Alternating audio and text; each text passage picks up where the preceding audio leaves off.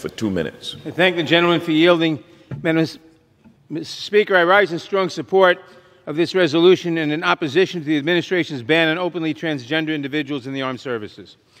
Throughout history, each time we expand who may join the armed services to better reflect the diversity of our nation, the same tired and disproven arguments are brought back that any individual within the new group, regardless of their abilities, unfit to serve, and that they will disrupt unit cohesion.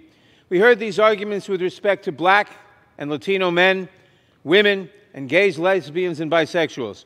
But we know that is simply untrue. There are no issues with, with transgender individuals serving in our military.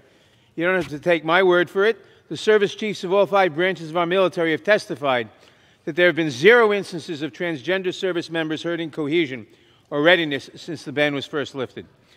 The obsession, the conservative obsession with targeting and, tra- and attacking transgender individuals in all areas of American life is cruel and immoral. It is astonishing that after years of support our troops demagoguery from my colleagues across the aisle, they would choose to turn their backs on active duty service members and vote to specifically deny them medically prescribed care. After two and a half years of transgender service members serving with no issues, there is one reason and one reason alone for this administration to be bringing back a ban on transgender service members to force a bigoted agenda on the military that they cannot force on the rest of the American people. Mr. Speaker, much of the history of this country is the history of expanding our understanding of who the Declaration of Independence meant when it said that all men are created equal. It didn't mean in 1776 black men, it certainly didn't mean women, it didn't mean Native Americans, it didn't mean LGBTQ people. We've come to the point where we understand, at least aspirationally, it means all of those things.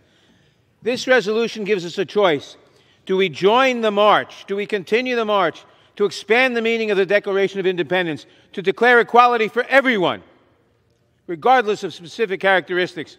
Or do we join that dreary procession of slavers and Confederates and racists and misogynists who have dragged this country through the mud and have besmirched the ideals of the Declaration of Independence? That's our choice today. Let's take the right one. I yield back.